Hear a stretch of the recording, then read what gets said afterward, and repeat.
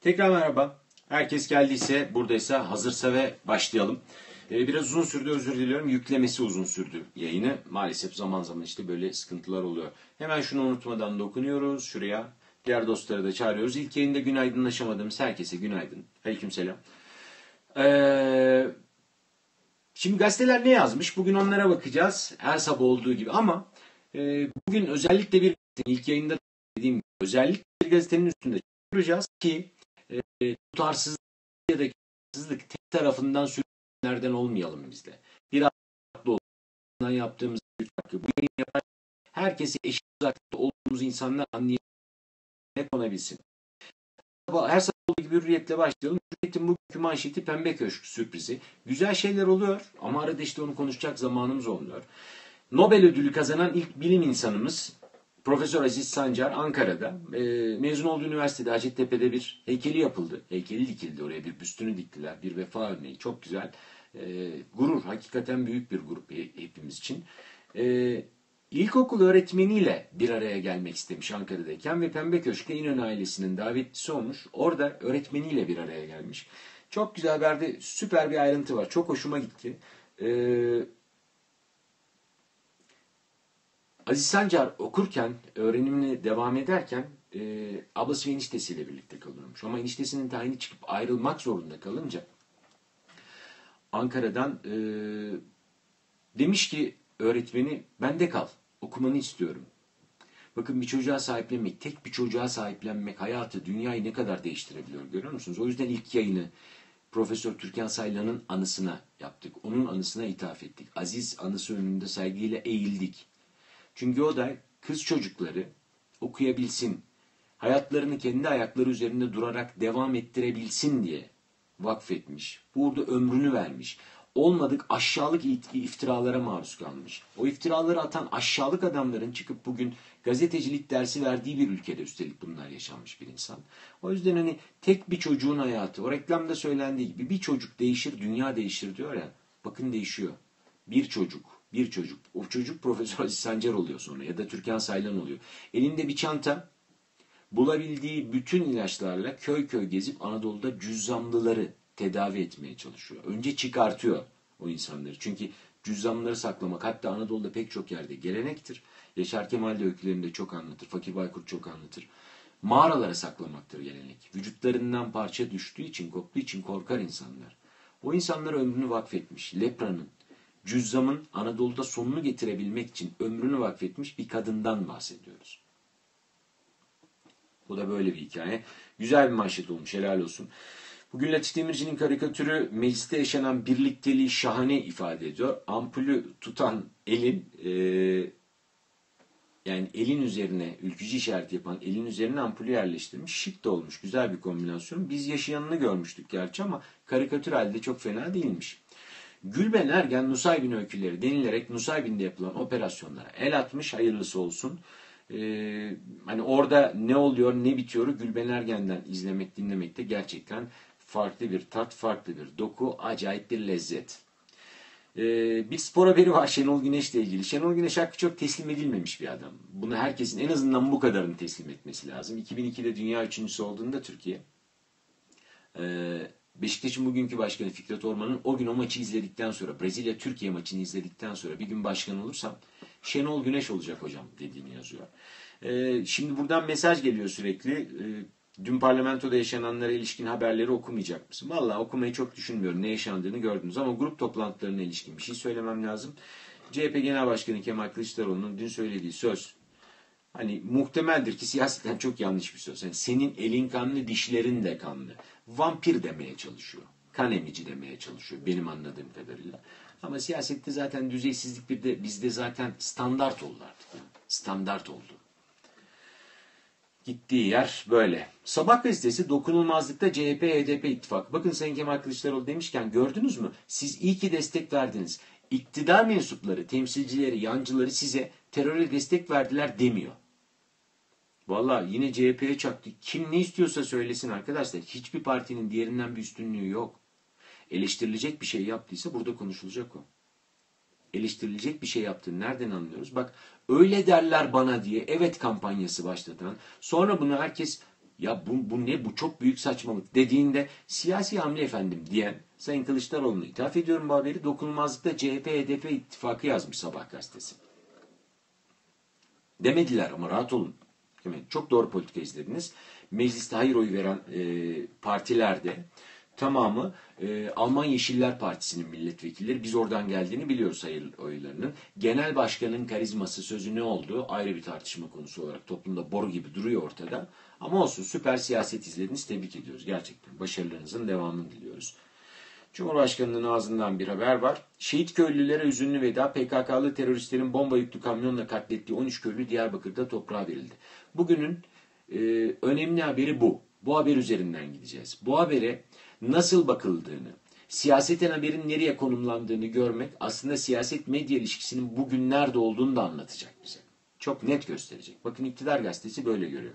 Hemen yanında teröre destek orduya köstek diye bir haber var. Aydın Doğan ve Fethullah Gülen'i yan yana gösteren bir haber. Ee, ve Genelkurmay Başkanı Hulusi Akar ya da MHP lideri Devlet Bahçeli'nin söyleyişiyle Husuli Akar'ın neden öyle dedi bilmiyoruz. Acaba bir ironi mi vardı? İmayı o yüzden oradan mı yaptı? Oradan mı laf çaktı? Anlamak çok zor ama ısrarla Husuli Akar dedi dün biliyorsunuz. Ee, hani onu eleştirdikleri için Doğan medyasının Fethullah Gülen'le omuz omuza yürüdüğünü anlatıyor bu haber. Bu haberi unutmayın çünkü birkaç yerde daha hatırlatacağım size. Şimdi Cumhuriyet'in manşeti kanı bile satarsın. Dün Kemal Kılıçdaroğlu'nun partisinin grup toplantısında Cumhurbaşkanı Erdoğan'la ilgili söylediği söz. Kan tartışması kızışıyor. Kılıçdaroğlu Erdoğan'a çok sert çıktı. Yalnız ellerinin değil dişlerin de kanlı. Ee, Ethem Sancan, ya ben dün de bunun üzerine çok durmayı düşünmüyordum ama bugün de gazeteler de yer vermiş. Konuşalım. Ethem Sancak. Ethem Sancak kim? Ee, Cumhurbaşkanı Erdoğan'a aşık olduğunu açıklayan iş adamı. Eski bir e, kendi iddiasına göre sosyalist.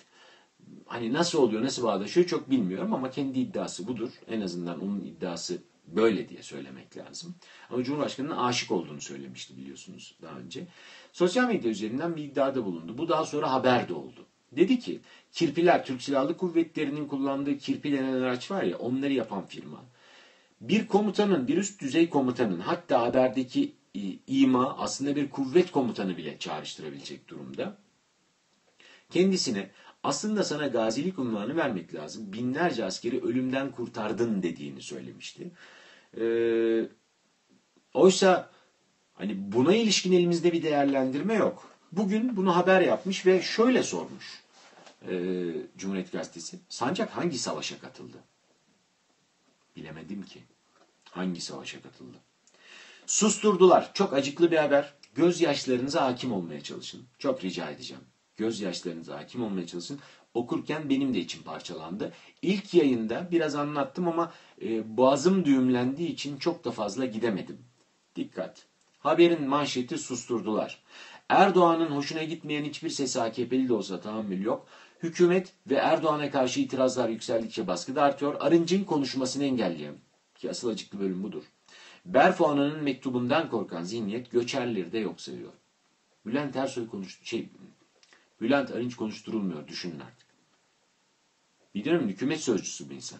Yani konuşturulmayan kişi hükümet adına konuşan kişi. Neden konuşturulmuyor? Bir şey söyleyeceğim. Siz gerçekten bunu duyduğunuz zaman üzüldünüz mü? Yani içinizdeki demokrasi damarı kabardı mı? Ben çok açık söylüyorum benim kabarmadı. Vallahi kabarmadı. Çünkü bugünün taşları döşenirken sessiz kaldı bu insanlar. Sessiz kaldılar. Bizler medyada işlerimizi kaybederken sırtlarını döndüler. Havaya bakıp ıslık çaldı hepsi. Ben bugün niye üzüleyim ki? Kusura bakmasınlar. Yani üzülecek yerlerim ağrıyor. Gerçekten üzülemem. Üzülemeyeceğim. Bu taşları siz döşediniz. Şimdi aynı şeyi yaşıyorsunuz. Hani sosyal medyadan paylaşırken çok şey yaparlar. Sevilen sözcükler kısa kısa 100, 140 karakterde duygusala bağlamak mümkün ya. Kınadığını yaşamadan ölmezsin falan filan diye. Al bak öyle. Hatta altına da böyle çakıyor. Mevlana Celaleddin Rumi. Hop yapıştır. Nasıl olsa bakan falan yok. Mesnevi okuyan yok Türkiye'de. Salla gitsin. Kime bağlarsan bağla altına yaz. Bunu söyle Charles Bukowski yaz. O da gidiyor. Her şeyin gideri var bu ülkede. Nasıl olsa okuyan, soran, sorgulayan falan yok. Ya Can Yücel şiiri diye abuk sabuk kendi gece düşünüp duygusala bağlayıp yazdığı dört satırı sosyal medyada sokuşturan adamların, kadınların haddi hesabı yok. Altına bir çöküyorsun Can Yücel diye. Can Yücel okumuş insanlar çırpınıyor. Ya kardeşim böyle Can Yücel şiiri olmaz. Olmaz lan böyle bir şey yazmamıştır bu adam. Şiirinin tarzına uymuyor diye. Sadece sizin işsiz kalmış. Tabii tabii ben kendi açımdan söylüyorum. Ben kendi açımdan söylüyorum arkadaşlar. Bu benim yaşadığım. O yüzden ben neden böyle bir şeye üzülmediğimi söylüyorum. Beni hiç ilgilendirmiyor. Bu taşlar döşenirken kim ne yaptıysa şu anda onu yaşıyor. Sözcünün bugünkü manşeti TSK'dan himmet çıktı. Orduya sızan paralelci askerler cemaate para yağdırmış. 580 subay eşlerini devlette işe sokmak için cemaate 500 ila 5000 lira arasında himmet parası vermiş. Bak bak bak bak. Böylece asker eşleri 2010'daki şaibeli KPSS'yi kazanmış. Çok güzel. Şahane.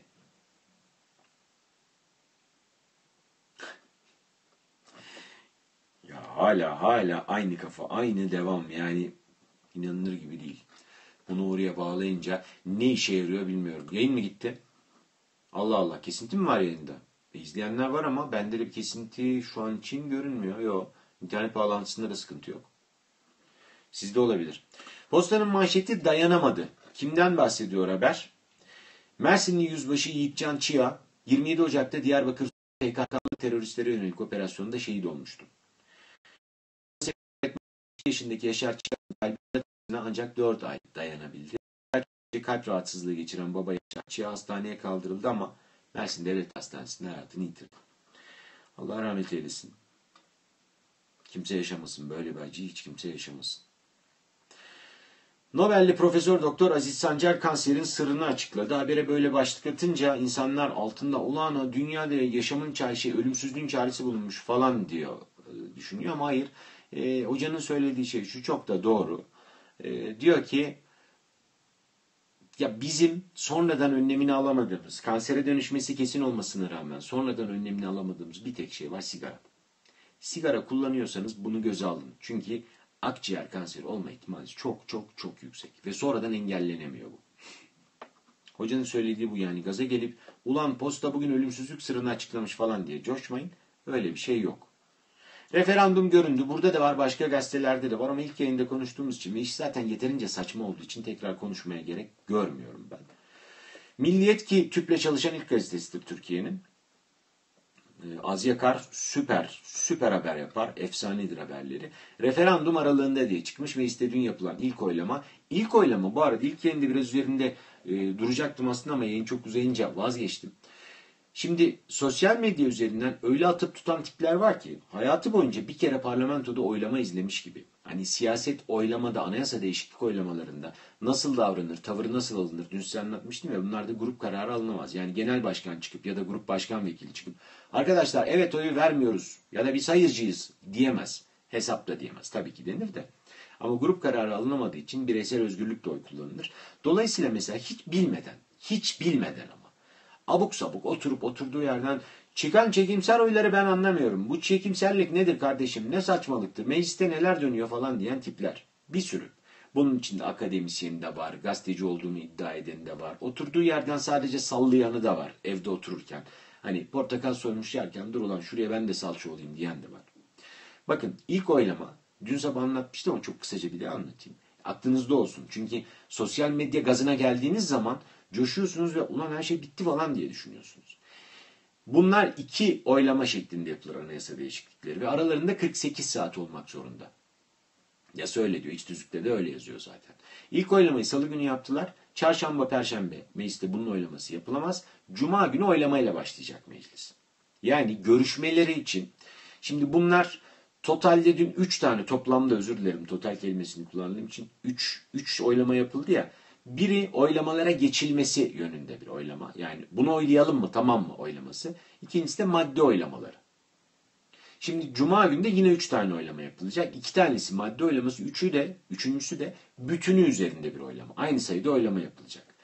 İlk gün yani dün yapılan oylamalarda sadece 330 oyu yakalayabilmek yeterli. Fazlası çok hikaye. E, çünkü 330 oyun üzerinde aldığınız değer bir işinize yaramıyor burada. Buradan peki fire tespit edilir mi? E, ilk aşamada tespit edilir ama kesin rakam asıl önemli olan Cuma günü yapılacak oylamada çıkandır. Yani orada 330'un altında kalan her madde bu paketten düşmüş sayılacak. Ortada bir paket yok. Bir tane madde var bir de yürütme yürürlük maddesi var. Sadece tarih. E, dolayısıyla bunun yapılacağı hikayenin içinde e, o düştüğü anda geçersizlik ortaya çıkacak. Yani 330 ile 367 arasında oy çıkarsa eğer o zaman fireyi hesaplayacağız. Kim kime ne kadar destek verdi, kim kaçtı, kim hayır oyu kullandı. Bunların hepsi o zaman görülecek. Ama bu aralıkta kalırsa referanduma gitmek zorunda. Mecburi. Eğer 330 oyu geçerse, 367 oyu geçerse bizim anayasamıza göre Cumhurbaşkanı'nın yine de reysen referanduma götürme hakkı ve şansı var ama elbette uygulanmayacaktır. Sonuçta onun isteğiyle yapılmış bir düzenleme bu. Dolayısıyla 330 ile 367 arasında çıkacak gibi şu aşamada göründüğü için referandum muhtemel yol olarak görünüyor. Kimden ne kadar fire verildi? İlk yayında konuştuk. Hani 5'tir, 8'dir, 10'dur. Sizin gül hatırınız için 15'tir. Ama çok belirleyici değildir ilk oylama. Cuma gündür asıl önemli olan. O yüzden dün hani oylamaya geçilmesi konusunda yapılmış oylamayı gördünüz mü 348 oy çıktı bitti oğlum bu iş falan diye duyuranlara gaza gelmeyin inanmayın. Gözünüzü seveyim. Yani o coşku kimseye bir şey getirmez. Bilmiyorlar, sallıyorlar. Oturduğu yerden silkeliyor herkes. Rahat olun. Cuma günü asıl hikaye. Tamam. Bunu da anlattıktan sonra devam edelim. Ee, gizli celse tartışması. Mecliste biliyorsunuz boşanmaları önleme komisyonu. Yani dün sabah bir parça konuştuk ama tam adı işte aile birliğinin korunması e, antin kuntin öyle bir şey var. Oradan birkaç madde kadın dernekleri ki iyi ki varlar onlar ortaya çıkarttılar. Onlar ortaya çıkartıp anlattılar. Tecavüzcüsüyle evlendiyse, evlendiyse eğer 15 yaşından büyük bir çocuk Çocuk demek zorundayız yasaya göre. Bizdeki yasalara göre 18 yaşın altı çocuk çünkü. Her ne kadar bazıları öyle demese de o yalan çünkü. 5 sene denetimli ya bir gözetim uygulanacak tecavüzcüsüyle evlenirse. Eğer o arada herhangi bir sıkıntı yaşanmazsa denetimli serbestlikten yararlanacak. Nasıl hikaye? Çok aşağılık değil mi? Ama bu komisyonun raporunda var. Ve bununla birlikte olarak bugün e, Bahar Atakan devam ettirmiş sevgili Bahar Haberi. Demiş ki kadın derneklerinden gelen itirazlarda bir kere bu tarz duruşmaların mutlaka ama mutlaka gizli celseyle yapılması gerekiyor. Çünkü ortaya öyle hikayeler çıkıyor ki adam hani yeriyor mu ulan bu nasıl sapıklık mı diyor. Porno hikaye mi yazıyor anlamıyorsunuz. Üçüncü sayfaya ballandıra ballandıra yazıyor. Eskiden Allah'tan yavaş yavaş unutuyor. Bu yayını izleyen gazeteciler hatırlarlar. Benim de yaşım müsait. Bu tarz tecavüz haberleri yazılırken defalarca tecavüz etti yazılırdı. Defalarca. Ya böyle aşağılık bir yaklaşım olur mu? Bunun bir tanesi, üç tanesi, beş tanesi aynı değil mi? Yapılan o iş, o ahlaksızlık değil mi zaten anlatılması gereken? Allah'tan ondan vazgeçildi ama öyle ballandırarak yazılıyorlar ki adam övüyor mu, yeriyor mu anlamıyorsunuz. O yüzden bu gizli celse hikayesi bence de çok çok önemli. Diğer itirazlarında Bahar sıralamış haberinde Milliyet'in bugünkü haberi böyle çıkmış. E tabi sahipmiş gibi oluyor canım. Ya adamın bir yırtmanın yolunu gösteriyorsunuz ya. Kanunların esnekliğinden yararlanıyor. Böyle saçma bir şey olur mu? Habertürk gazetesinin bugünkü manşeti sandık provası. Dünkü meclisteki oylamadan hareketle yazmış. Dokunulmazlıkta ilk tur referanduma işaret, ikinci tur cuma, iki maddelik anayasa değişikliği teklifi 350'nin üzerinde oyla kabul edildi. 358 ikinci e, son maddeye çıkan oy. Dünya 15, 15 ton bombaya sessiz. Bunu birkaç gazetede içeride kullanmış. Cumhurbaşkanı Erdoğan'ın sözleri. Yerden göğe kadar haklı. Sadece dünya sessiz değil ki. Türkiye'deki bir takım insanlar da sessiz. Yattılar kulaklarının üstüne. Bakın okuyacağım birazdan size Özgür Gündem gazetesini. Haber yok ya. 13 insan öldü. 15 ton bomba patladı. O gün akşam haber bültenlerini izleyebildiniz mi son dakika haberlerini falan? Şimdi pat, bombanın patladığı yer, o kamyon Diyarbakır'ın Sur ilçesine bağlı ama epeyce uzakta bir köy. Diyarbakır şehir merkezinden duymuş insanlar. 15 ton bombadan bahsediyoruz. Bunun insanlıkla bağını kurmaya çalışıyor birileri hala. Birileri saklayarak yok edebileceklerini zannediyor. Neden? O katil benim katilim. O benim teröristim. Benimki iyidir. O zaman sen IŞİD'ciye ses çıkartmayacaksın. Manşetinden yardırmayacaksın. Devlet IŞİD'i destekledi kardeşim bak onlar da öldürüyor demeyeceksin. Sen de aynı şeyi yapıyorsun. Sen de aynı şeyi yapıyorsun. Hiçbir farkın yok ki.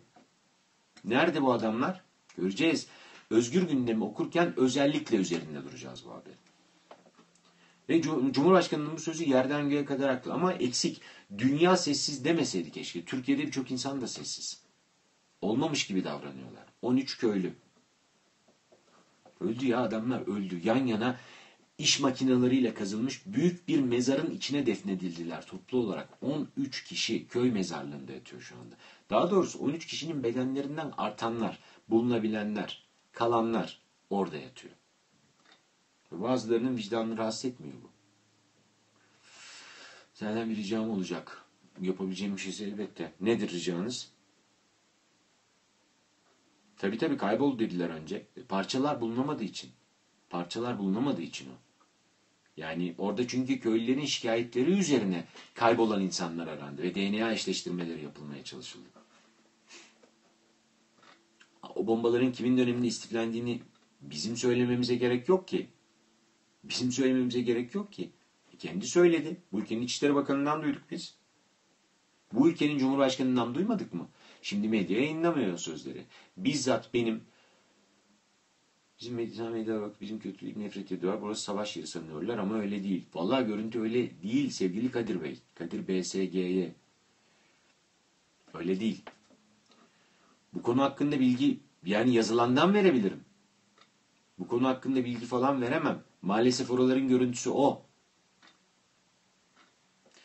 Yeni Şafak'ın manşeti PKK'nın dürümlü, katli, dürümlü katliamına karşı tek cümle etmediler. Kim susturdu? Doğru soru. Yeni Şafak'a bile bu hakkı verdiler. Kim susturdu? İnsanlar konuşmuyorlar. Sosyal medyada yazıp çizmiyorlar. Gerçekten doğru değil mi? Bu ülkenin aydın geçinen pek çok tipi hiçbir şey söylemedi. Neden?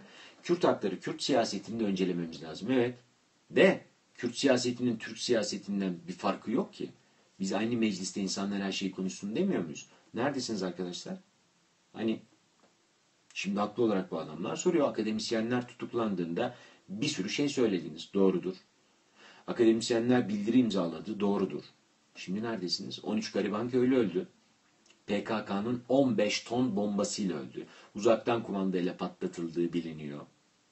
Nerede? Vallahi o köy kime oy verdiyse bilemem. Beni ilgilendirmez ki. Bizim soracağımız soru o değil. Bizim soracağımız soru o değil. İki tane soru var ortada. Bu ülkenin aydın geçinen insanları nerede? Solcuyum diye gezinen. İşine geldiği zaman solculukla özellikle cuma günleri Hazreti Ömer'i bağdaştırıp Fırat'ın kenarında bir koyun kaybolsa sorumlusu benim sözünü bile yazan falan insanlar var. Nerede bunlar? İki, Selahattin Demirtaş'ın dediği gibi özür dilemesi lazım. Her kim yaptıysa sözüyle çözülebilecek kadar basit bir şey mi bu? Yediniz mi bunu? Ben yemedim. Kusura bakmayın. Sizin de yememenizi tavsiye ediyorum. Yeni Şafak bile haklı. Yeni Şafak açık bir dille kınayıp eleştirdi. Sözünü bakın size okurum burada. Korumaya çalışmayın. Bunun korunacak bir şey yok. Arkadaşlar yapmayın.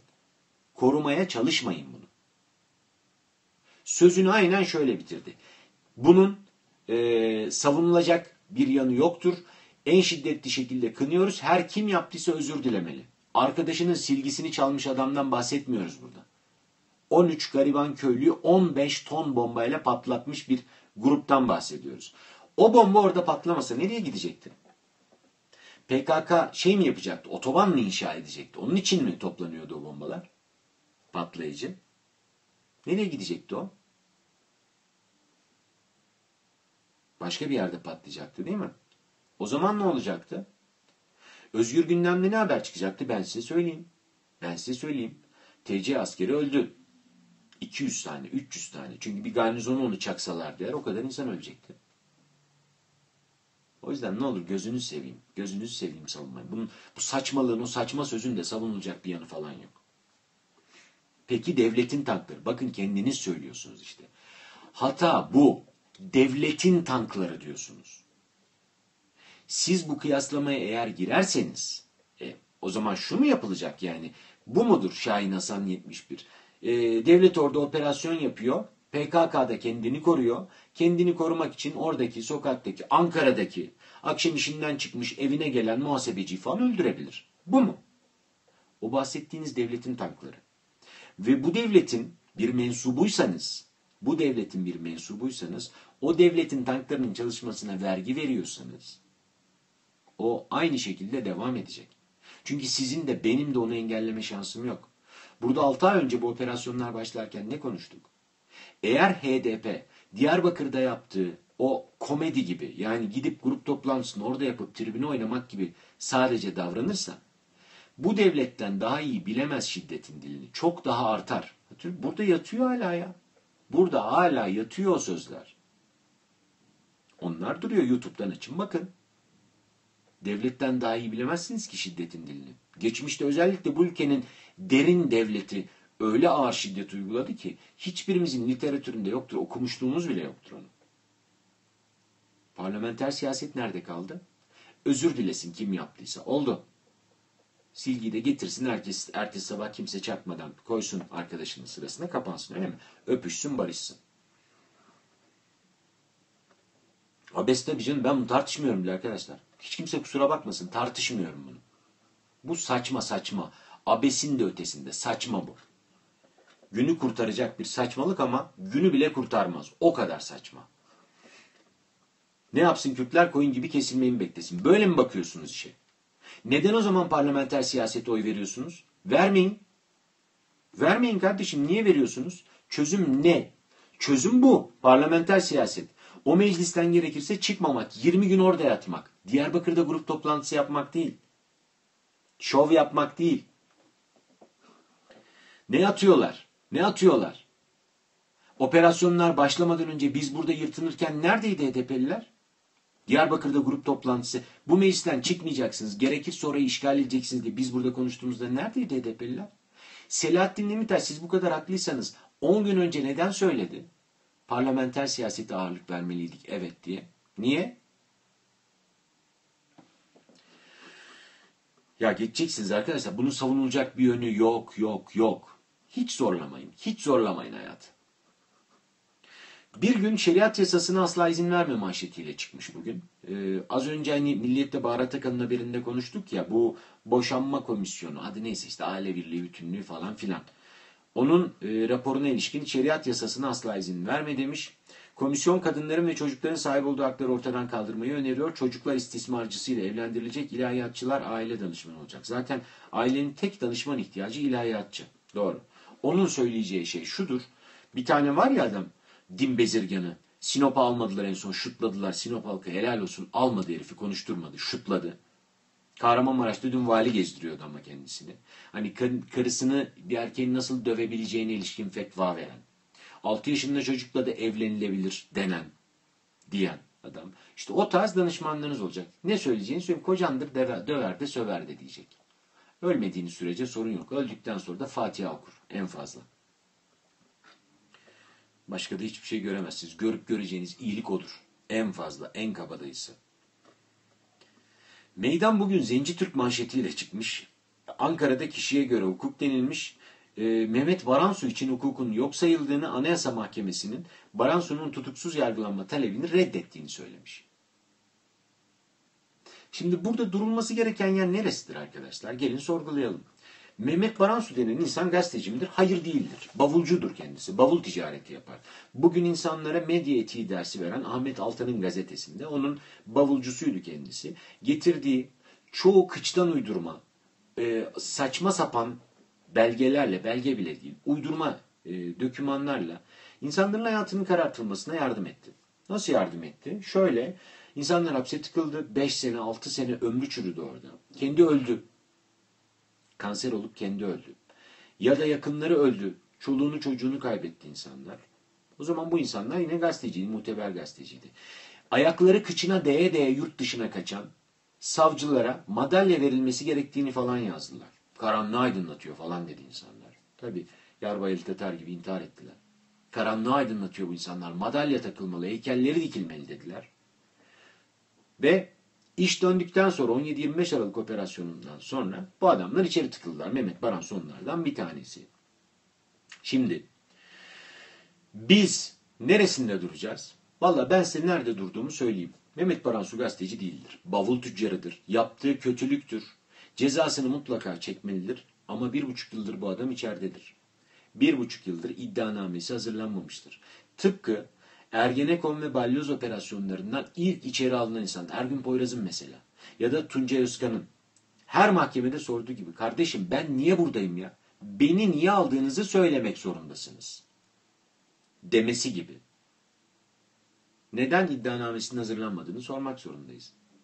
Sonuç olarak onun da içeride aynı şeyden yararlanması gerektiğini söylemek zorundayız. Maalesef böyle bir şey. Maalesef böyle bir şey. Çünkü durduğumuz yer orası olmalı. Hani hep söylüyoruz ya, haklı olan, doğru olanın yanında durduğunuz zaman önünüzden hiç sevmediğiniz, hiç ummadığınız, yani yanında durmaktan nefret ettiğiniz insanlar da geçecek. Onlar da geçecek. Ama doğru yer orası. Yapılabilecek bir şey yok. Ama şunu ısrarla söyleyeceğiz. Ahmet Altan gazeteci falan değildir. Değildir. İsteyen istediğini söylesin. Hani adam gece sayfa sekreterliğinden gelmiş gazeteciliğin içinden. Yaptığı gazetecilik değildir. Onun verebileceği, bizim de ondan alabileceğimiz medya etiği dersi yok. Mehmet Baransu gazeteci falan değildir. Mehmet Baransu bavul tüccarıdır. Sadece bavul tüccarıdır. Ama buna rağmen bir buçuk yıldır iddianamesi hazırlanmadan neden içeride bulunduğunu biz de sormak zorundayız. Bu haksızlıktır. Durmamız gereken yer bence burası. Star ki biliyorsunuz Milli İradenin Sesi ve Parti Bültenidir aynı zamanda. 13 cenaze 60 kilo boş tabutlar manşetiyle çıkmış. Haber yerden göğe kadar doğru. Star gazetesi, Yeni Şafak gazetesi gibi bugün son derece haklı manşetlerle çıkmış. Bu ülkenin aydın olduğunu iddia eden, solcu olduğunu iddia eden, demokrat olduğunu iddia eden, liberal olduğunu iddia eden insanları niye bu haberi görmüyor? Sormayacak mıyız biz şimdi? Soracağız, bal gibi soracağız. Bu insanları kim öldürdü? PKK. 15 ton bomba yüklenmiş bir kamyonla öldürdü. Bakın birazdan bundan hemen sonra okuyacağım size. Diğer parti bültenini, PKK'nın parti bültenini okuyacağım. Orada göreceksiniz bu haber yok. Neden? Senin teröristin benim teröristim var. Bu saatten sonra Özgür Gündem manşetine IŞİD'li teröristlere silah gitti, roket atar verdiler, ot çöp derse anlayın ki hikayedir.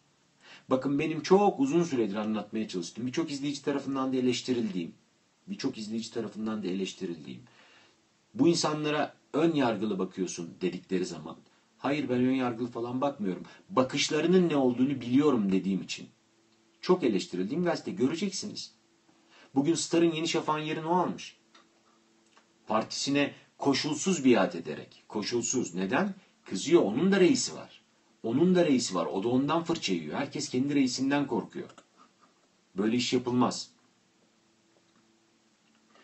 Gelin okuyalım. Özgür Gündem'in manşeti ki biliyorsunuz parti bültenidir. PKK'nın yani Kürdistan İşçi Partisi'nin parti bültenidir. Erdoğan gidici gelecek biziz manşetiyle çıkmış. Sözü söyleyen kim? Selahattin Demirtaş. Selahattin Demirtaş'ın sözleri nasıl vermiş? Lütfen dikkatli dinleyin. Özellikle HDP'ye oy veren sevgili izleyiciler siz dikkatli dinleyin. Bana her sabah burada duran kalkan köşesini yazmamış hayırdır inşallah dediğimde dalga mı geçiyorsun diyen izleyiciler. Dikkatli dinleyin. Dikkatli dinleyin bunu. Devletin Cizire'de Sur'da parçaladığı insanları ben konuştum kardeşim burada. Benim bunu söylemeye hakkım var. Bu yayını bölmeye hakkın yok senin. Susup dinleyeceksiniz.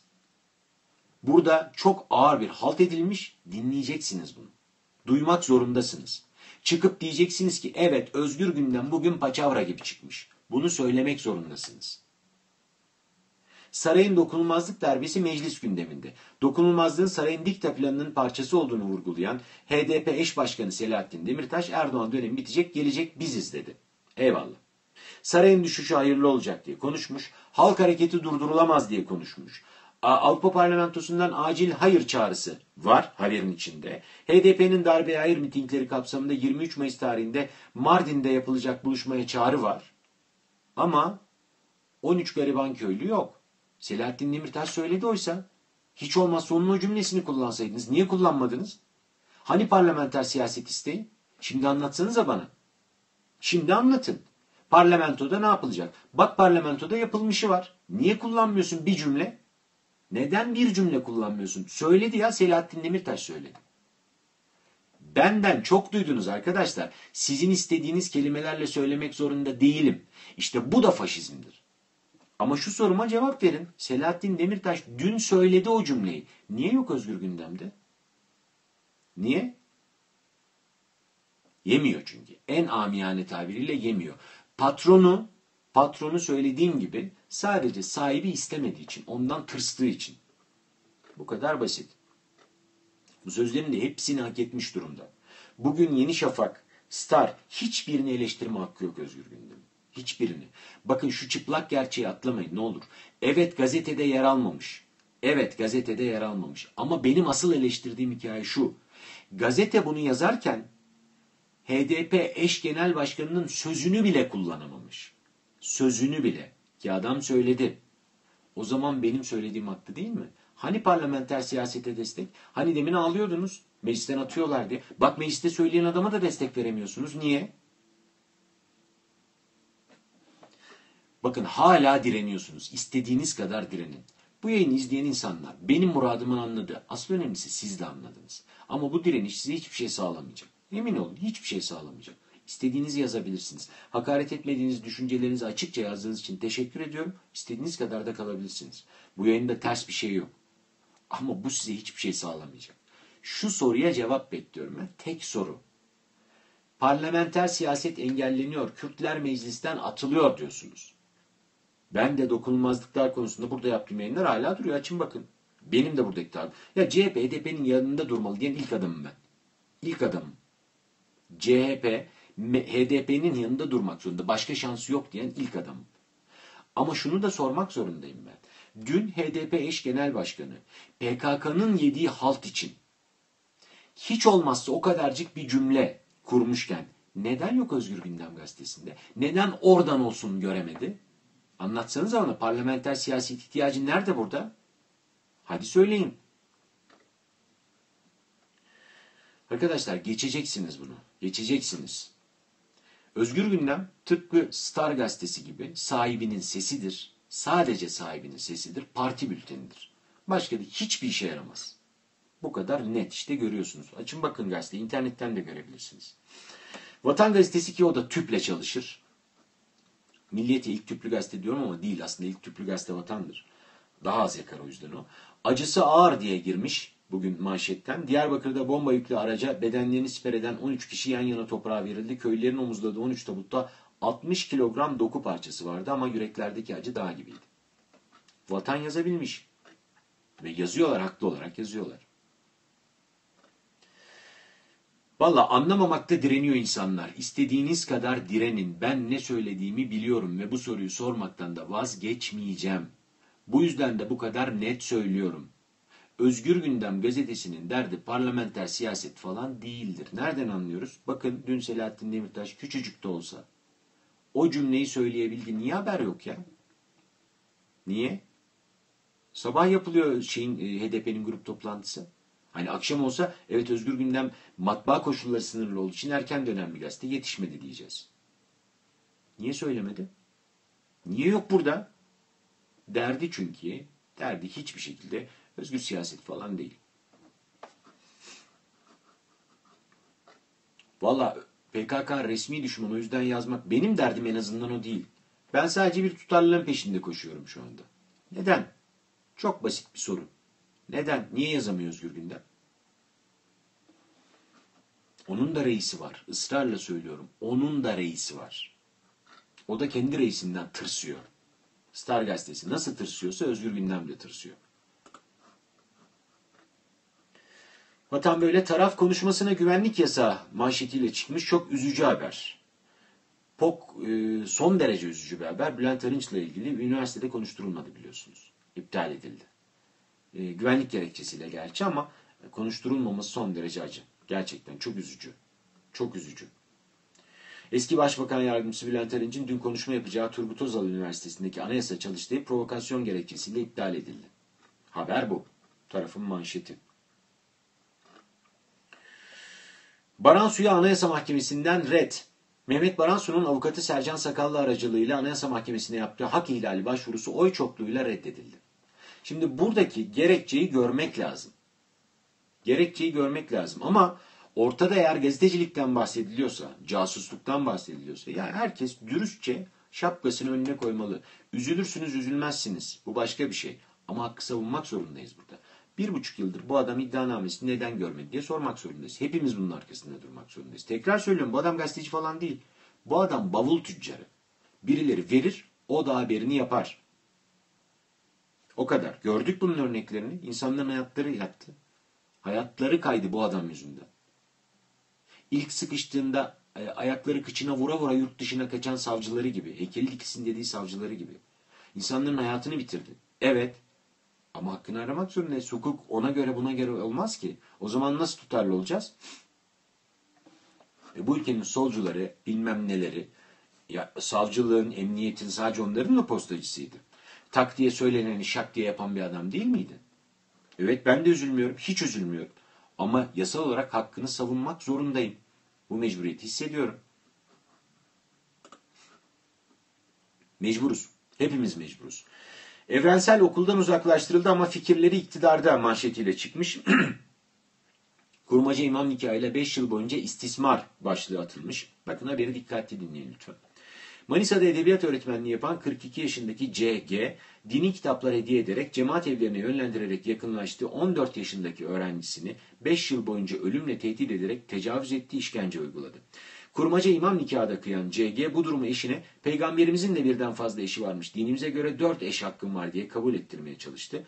Olay ortaya çıktıktan sonra okuldan uzaklaştırılan CG savcılık tarafından serbest bırakıldı. Şaşırdınız mı? Hayır. Ya adam biraz dişini sıksa yasası hazırlanıyor zaten. Yırtardı. Şimdi muhtemelen zaten eşi boşayacaktır bunu. E, diğer kızla 15 yaşında o dönemde 14 bir kemik tespiti falan yaptırıp onu 15 üstüne bağlarlar. Ben evleniyorum der. 5 yıl denetimli serbestlik şahane. 5 yılın sonunda da Allah bereket versin. Değil mi? Biraz sıksa dişini yasası hazırlanıyordu halbuki. Utanmazlığın dibi, ahlaksızlığın, aşağılık davranışın dibi bu işte. Herhalde böyle bir şey. Gerçi biz dibi sürekli zorluyoruz. Her zaman yepyeni dipler görüyoruz ama bugün akşam gazetesini atlayacağım. Takvim gazetesiyle bitireceğim. Çünkü yayın çok sarktı. Ee, hani takvim gazetesi diyorum da lafın gelişi öyle gazete gibi çıktığı için mecburen öyle diyoruz. Bugün Sazcı Kardeşler manşetiyle çıkmış. Biliyorsunuz Cazcı Kardeşler, John Belushi'nin o efsane film e, Blues Brothers sazcı kardeşler. Bunun biliyorsunuz temeli gazcı kardeşlerdir aslında. Yani yine bulunmuşu çalmışlar. Onu bile tam çalamamış ama bulunmuşu çalmışlar. Gazcı kardeşlerdi bunun aslı. Hatırlıyorsunuz İstanbul e, Emniyet Müdürü Celalettin Cerrah'la o dönemin İçişleri Bakanı e, Muammer Güler'in ortak ismiydi. Gazcı kardeşler. Haberi de bir gün yapmıştı galiba ya. Yanlış hatırlamıyorsam. Galiba bir günün haberiydi değil mi? Ya da Radikal'in miydi?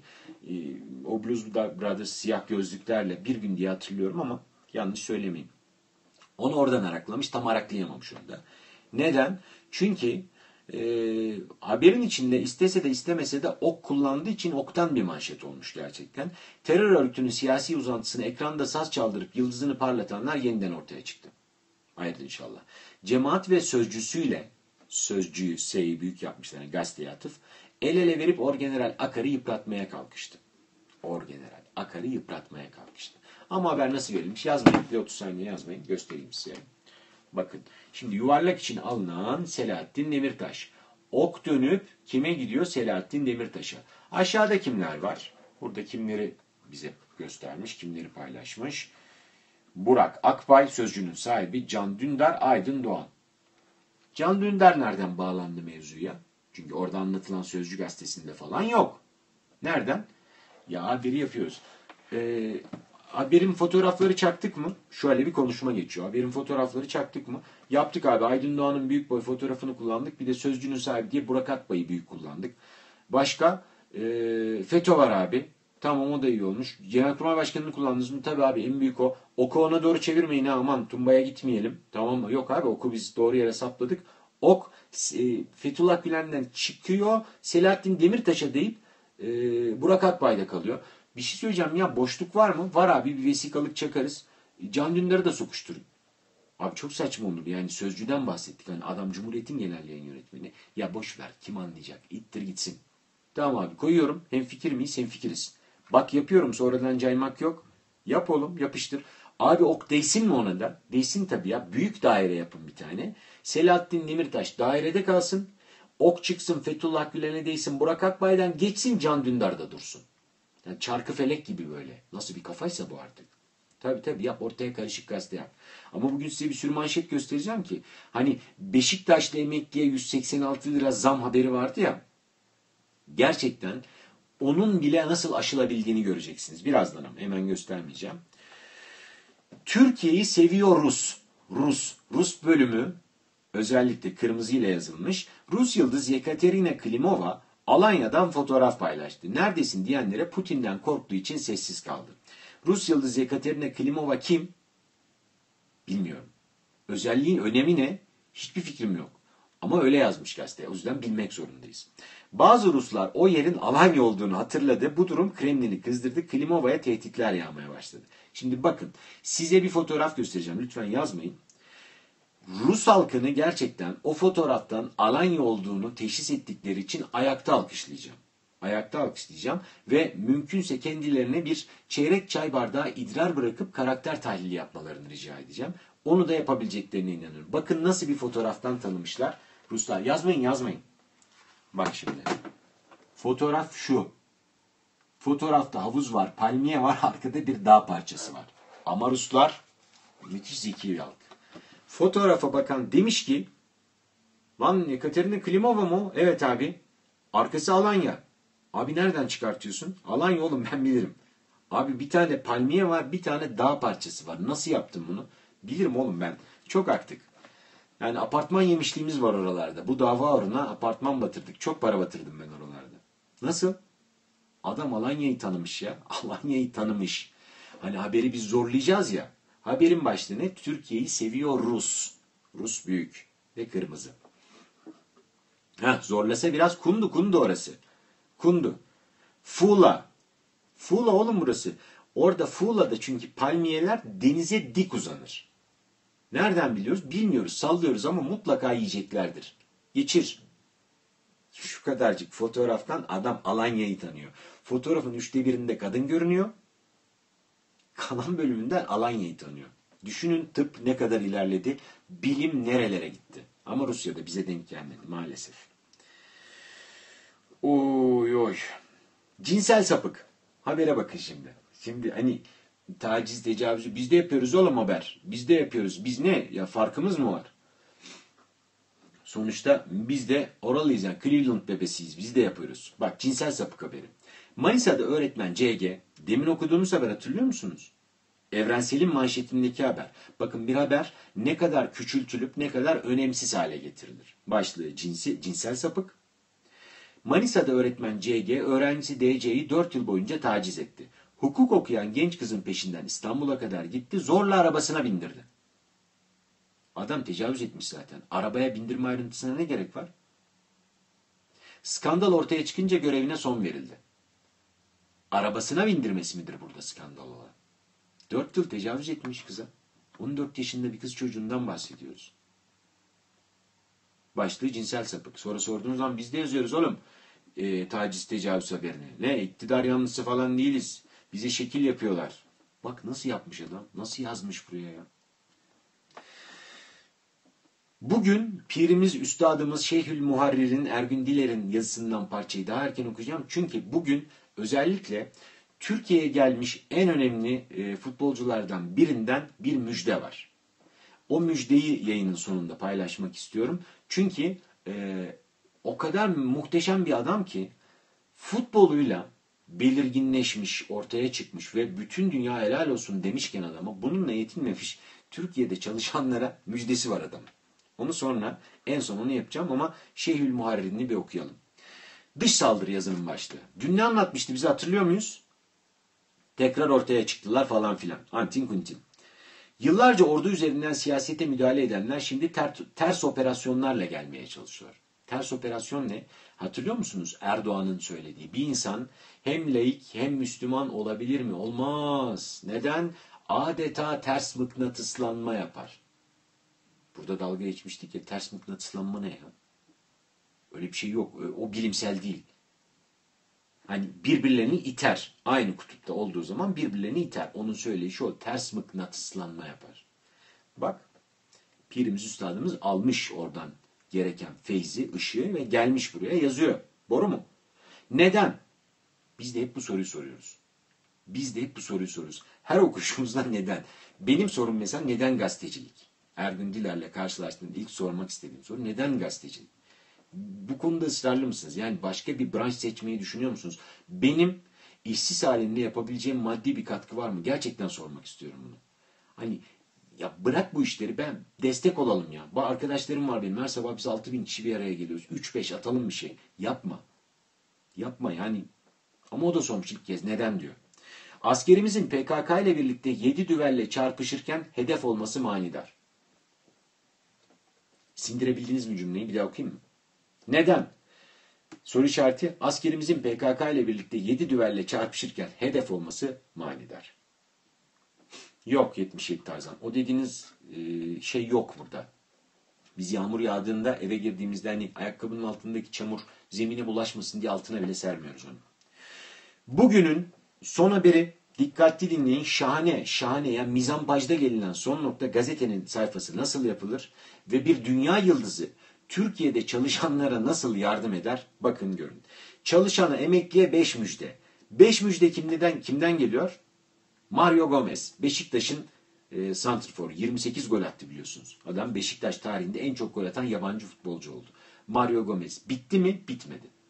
Hani o meşhur e, Şener Şen'in vapurdaki e, tezgahtaki görüntüsü vardır ya bitti mi bitmedi diye sorar. Nadia Comaneci, e, Taçsız Kral Pele bunları anlatır.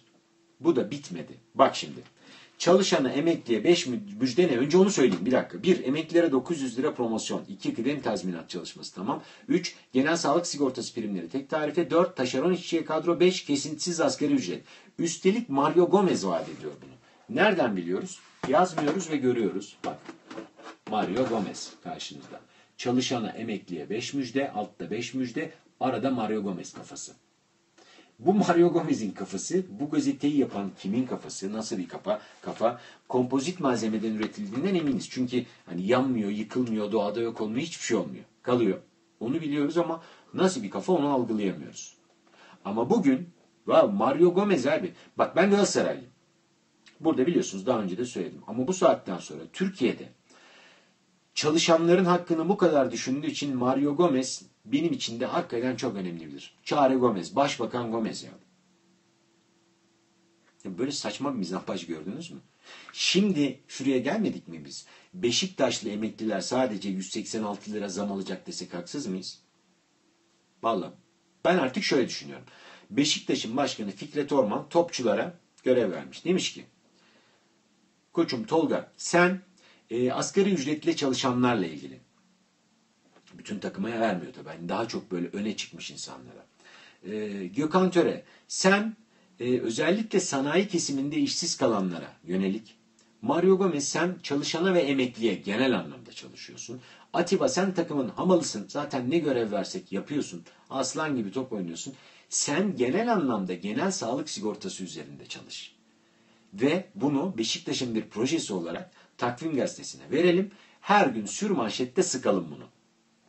Yani bir Beşiktaş bir çalışan, bir Beşiktaş bir asgari ücretli, bir Beşiktaş bir emekli. Süper. Sanırım böyle bir şey olmuş. Yeni statta yapmışlar galiba bu toplantıyı. Öyle olduğunu tahmin ediyorum. Bugünün müjdesi Mario Gomez'den geldi. Çalışana emekliye 5 müjdesi var Mario Gomez'in.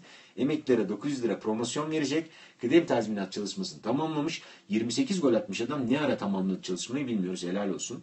Genel sağlık sigortası primlerini tek tarifeye düşürmüş. Taşeron işçiye kadro verecek. Düşünün Mario Gomez ya. Kesintisiz asgari ücret olacakmış. Yani, yani yılın son 3 ayında kesinti olacaktı ya. Mario Gomez transfer ücretinden halletmiş. Valla bak ben Galatasaraylıyım. İyi de Galatasaraylı olduğumu iddia ederim ama Mario Gomez benim için tektir bu saatten sonra. Ha Atiba böyle bir çıkış yapsın. Mesela yarın şunu görelim. Sanayide çalışan 18 yaşından küçük çıraklara e, yeni müjde. Arada Atiba kafası. Atiba'yı çok daha fazla desteklerim açık konuşuyorum. Çünkü hani hep söylüyorum futbolun hamiz hamalı. Bu kadar baba bir adam. Atiba il olsun ya. Atiba ülke olsun. Vallahi ülke olsun. Hakkıdır. Ama Mario Gomez'de pas geçmeyelim. Sonuçta taşeronlu ha olabilir. Taşerona Atiba bakabilir. Doğru. Onların durumu daha çileli. Vallahi bak taşeron çok doğru. O söz çok doğru Yasemin Hanım. Taşerona o baksın. Atiba baksın. Ama Mario Gomez'in hakkını hiçbirimiz inkar etmeyelim. 10 numara 5 yıldız adammış. Helal olsun 28 gol atmış. 28 gol atarken arada çalışana 5 müjde çıkartmış. Tıpkı Beşiktaş kulübünün, Kartal'ın, sembolünün daha önce emekliye ama Beşiktaşlı emekliye 186 lira zam taahhüdü gibi. 10 numara 5 yıldız. Terörü çözemez çünkü terör haberleri orada yer almıyor takvim gazetesinde olmuyor. Orada daha çok emekliye çalışana antin kuntin falan yazıyor ve Beşiktaşlılar. Çare Gomez, Başbakan Gomez ama ben Atiba'ya da karşı boş değilim açık söylüyorum. Bir gün Galatasaray'a gelirse antrenmanlarını dahi takip ederim o kadar net söylüyorum yani. Çok teşekkür ediyorum bu sabah da benimle birlikte olduğunuz için, evlerinize, iş yerlerinize konuk ettiğiniz için, benim çalışma odama misafir olduğunuz için. Ama en çok değer verip dinlediğiniz için, benimle görüşlerinizi paylaştığınız için ve televizyonda lay lay lom bir sürü şey seyretmek mümkünken bu kadar saat içinde gelip burada rahatsız olmayı seçip gerçekleri paylaşmayı göze aldığınız için çok teşekkür ediyorum. İyi ki varsınız, iyi ki oradasınız. Bu yayını bir yarım saat kadar sonra medyascope.tv adresinden de izleyebilirsiniz. Ben de bir aksilik olmazsa, ölmez sağ kalırsam yarın sabah 9'da burada olacağım. Siz de orada olursanız bir anlamı olacak. Çünkü oturup konuşabiliriz. Çünkü biz çok iyi biliyoruz ki kurtuluş yok tek başına. Ya hep beraber ya hiçbirimiz. Güzel bir gün diliyorum. Hoşçakalın.